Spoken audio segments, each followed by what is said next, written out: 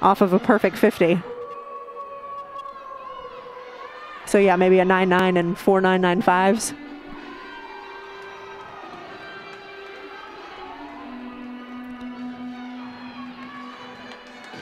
So Diaz, I'm not sure if they have a line judge there, but to me it looked like her eels were out of bounds. I'm not sure if the judges could actually see that. Yeah, though. I agree.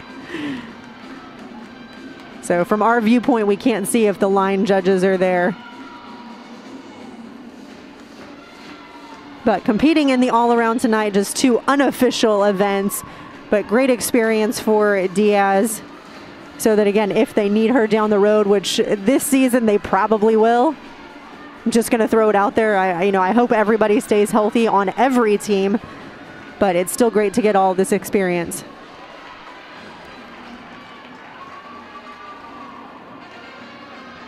You can see on that tumbling pass, the first flip she did, she didn't have enough rotation to actually bounce her in the right direction to rotate the second flip enough.